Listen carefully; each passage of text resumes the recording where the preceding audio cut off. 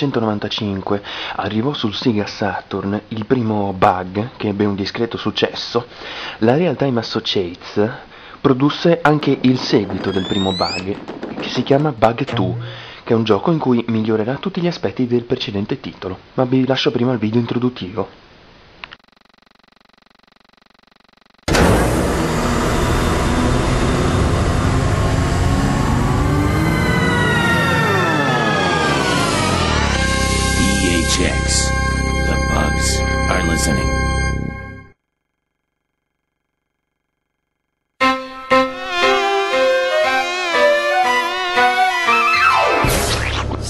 Fellas, I brought you here because I got news.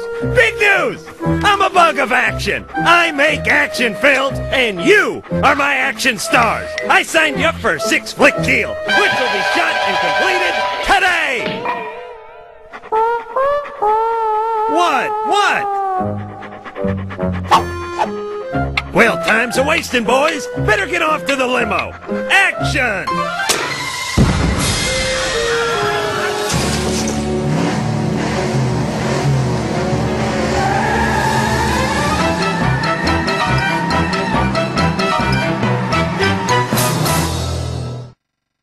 Forse avete capito, la trama del gioco è molto semplice, parla di Bug, che è sempre il protagonista del primo titolo, che in questo episodio è una rinomata star di Hollywood e il suo scopo in questo gioco è cercare di salvare la sua comunità dallo strano cattivo di turno.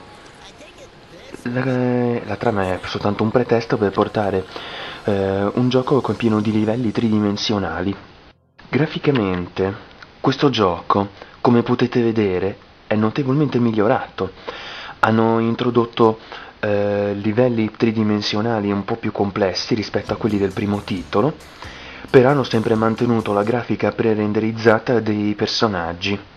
Infatti eh, ora sono molto più fluidi nei movimenti e molto più dettagliati. E anche per quanto riguarda i paesaggi, sono molto più dettagliati anche se sono degli sfondi bidimensionali, ma hanno sempre un loro, un loro fascino. Per quanto riguarda invece il sonoro, possiamo dire che hanno aggiunto dei nuovi effetti sonori che sono proprio perfetti e ben integrati nella situazione del gioco e riescono benissimo a restituire un certo fascino a ogni situazione che affronteremo nel gioco. Per quanto riguarda le musiche, devo dire che sono tutte perfette, ben integrate in ogni tipo di livello che facciamo, ognuna ha un proprio tema ehm, di ogni film che si fa, tipo, non so, horror, fantascientifico, drammatico, qualunque tipo. Quanto riguarda la giocabilità, non è cambiata molto rispetto al primo, hanno soltanto cambiato i comandi e ora sono diventati molto più reattivi rispetto al primo titolo e hanno introdotto due nuovi personaggi e possiamo giocare oltre a Bug anche a Maggot Dog e Superfly, che sono i due migliori amici del nostro protagonista Bug. Ogni livello che faremo sono delle parodie di film famosi. E non è molto facile finirli perché mh, mm, hanno, sono molto, molto difficili da affrontare, poi soprattutto anche i boss che affronteremo sono molto difficili da buttare giù però c'è una, c'è una mancanza, non abbiamo tutti quei poteri che avevamo nel primo episodio. Se proprio dobbiamo cercare il pelo nell'uovo, eh, il gioco ha dei pesanti rallentamenti soprattutto nelle situazioni dove ci sono più elementi a schermo, ma questo non è che intacca tanto la giocabilità.